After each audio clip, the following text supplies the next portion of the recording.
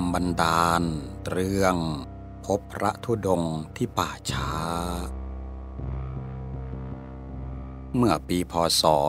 2546 ราวๆปลายเดือนมีนาคม วันนั้นประมาณห้าโมงเย็นเห็นจะได้ ผมกำลังนอนอ่านหนังสือพิมพ์บนเปลอยู่ที่หน้าบ้าน ก็เห็นพระธุดงค์รูปหนึ่งอายุประมาณ 50 ปีกว่าๆ เดินแบกกลดสะพายบาทและย่ามพรุงพรัง มาบนถนนทางด้านทิศเหนือ พอท่านเดินผ่านมาถึงหน้าบ้านก็หยุดและหันมาถามผมว่า ป่าช้าของหมู่บ้านนี้อยู่แถวไหนกันโยม ผมรีบลุกขึ้นยืนแล้วตอบท่านว่า อยู่ทางทิศตะวันตกเฉียงใต้ห่างจากวัดไปประมาณสองเส้นขอรับ พระคุณเจ้ามีธุระจะไปที่นั่นหรือขอรับ เดี๋ยวผมจะเดินไปส่งพูดจบผมก็เข้าไปช่วยรับบาตรกับย่ามมาจากท่าน แล้วก็เดินนำหน้าพาท่านมุ่งไปสู่ป่าช้าที่ว่า ผมพาท่านไปส่งที่ศาลาริมป่าช้า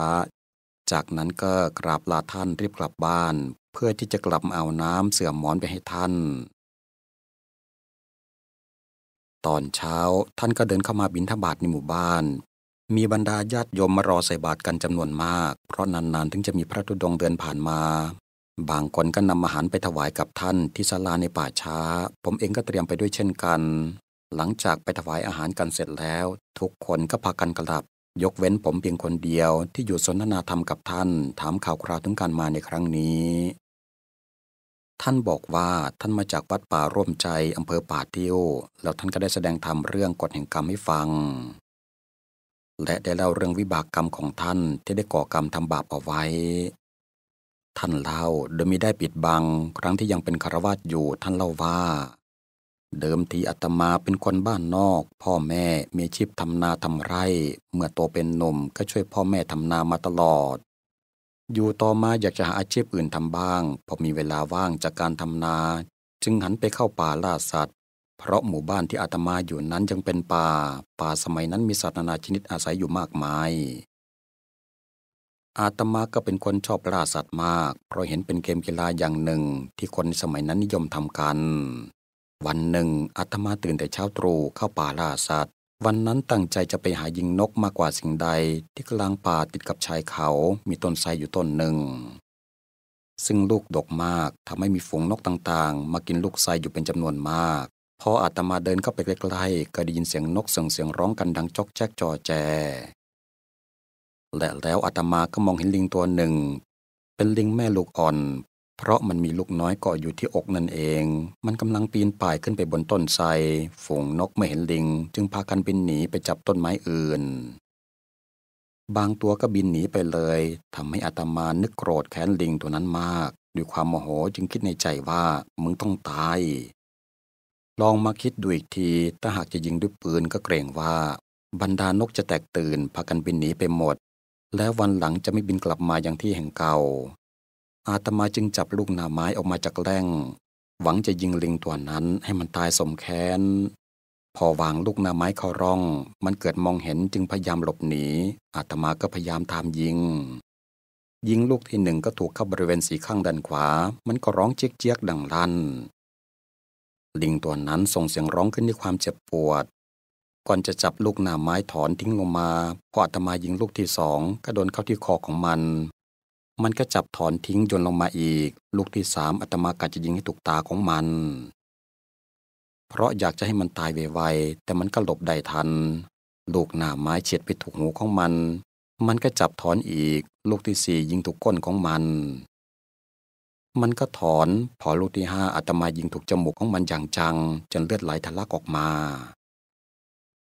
สภาพของมันตอนนั้นบาดเจ็บสาหัสมาก มันกระโดดหลบลูกหน้าไม้แทบไม่ได้ อาตมาคิดว่ามันต้องตกลงมาตายแน่ๆ จึงรอดู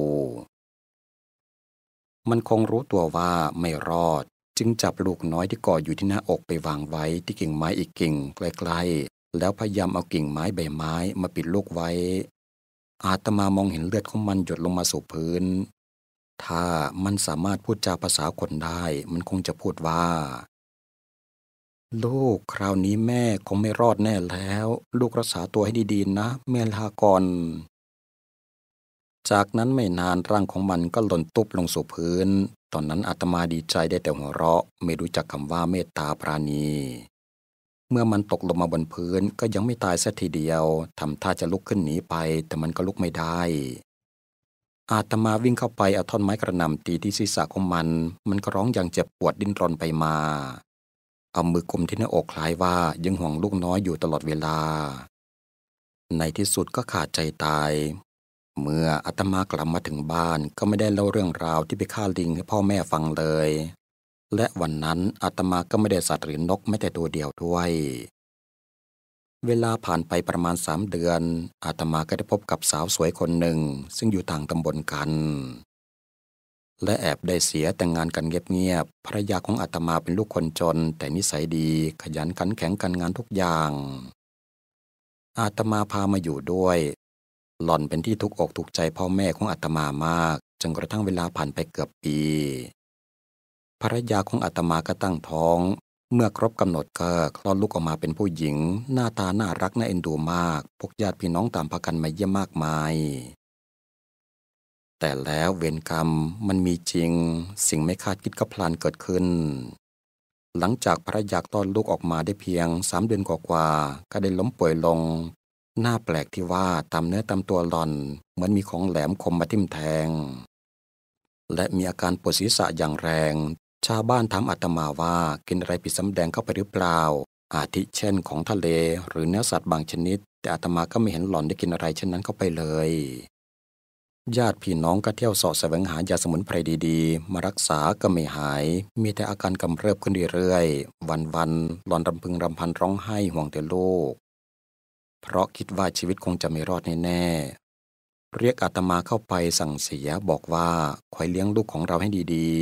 ๆ อยู่ต่อมาไม่นานหล่อนก็เริ่มชักดิ้นไปมา โดยมือทั้งสองข้าง กุมอยู่แต่ที่หน้าอกทำเสมือนแม่ลิงก่อนตายไม่มีผิดเลย ในที่สุดหล่อนก็ขาดใจตายต่อหน้าต่อตาของอาตมา